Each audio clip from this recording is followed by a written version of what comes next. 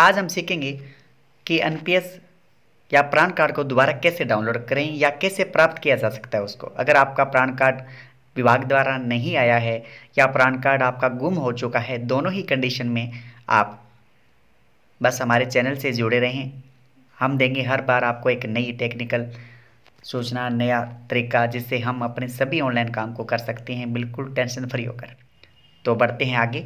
इससे पहले अगर आप हमारे चैनल पर नहीं है और चैनल सब्सक्राइब नहीं किया है तो कर लें, क्योंकि यह एक शैक्षणिक चैनल है। शिक्षकों से संबंधित सभी प्रकार के ऑनलाइन काम हम आपको यहाँ पॉइंट टू पॉइंट बताएँगे। जैसे पे मैनेजर, शाला दर्पण, नए शैक्षिक अपडेट, नई भर्तियाँ, शिक्षक से संबंधित सभी ऑनलाइन काम और विद्यार्थियों से संबंधित फॉर्म बता दिए जाएँगे। तो आप चैनल को सब्सक्राइब कर लें। सब्सक्राइब करने का तरीका बताया जा रहा है।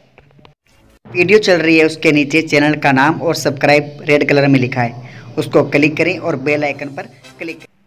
यहाँ लिखें एन पी एस अपनी लॉगिन आईडी है, वो यहाँ हमें यूज़ करनी है। एन पी एस का जो आपको कार्ड आया हुआ है, इसके लिए आप जहाँ कॉलम दिखाई दे रहा है ओपन यूर एन अकाउंट इसको क्लिक करें।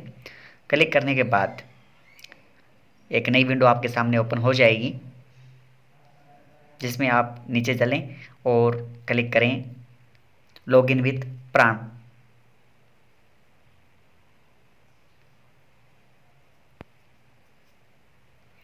इस प्रकार की एक विंडो आपके सामने ओपन होगी, जहाँ आपको अपनी आईडी ओपन करनी है। इसमें यूज़र आईडी और पासवर्ड यूज़र आईडी यानी कि आपका प्राण नंबर जो हमने पिछली वीडियो में बताया था कि कैसे सर्च करें और कैसे दोबारा प्राप्त करें, और पासवर्ड जो मेरा सेट किया हुआ है, वो भी पिछली वीडियो में आपको बता दिया गया था। इकहत्तर प्लस छः स्तंत्र लिखें और सबमिट कर दें।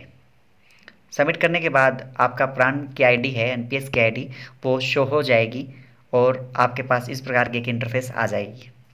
तो आप इसमें देख सकते हैं अपनी आईडी और इसमें अपने को प्राण नंबर देखना है कि प्राण कार्ड आपको फिर से प्राप्त करना है तो व्यू में जाएँ।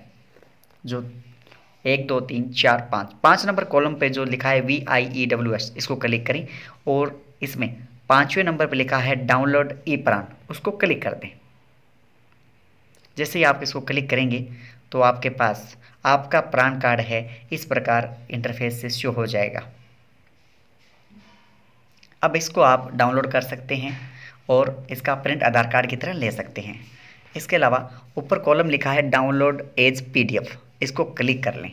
क्लिक करने के बाद, कुछ सेकंड के बाद आपके पास एक नई विंडो दोबारा ओपन हो जाएगी और ये प्राण नंबर है, प्राण कार्ड है आपका, जो आपके पास शो हो जाएगा, जिसे आप अपनी हिस्ट्री में डाउनलोड में चेक भी कर सकते हैं। जो पहला पहला कॉलम है, ई प्राण कार्ड, जो अभी डाउनलोड हो रहा है वेट करें।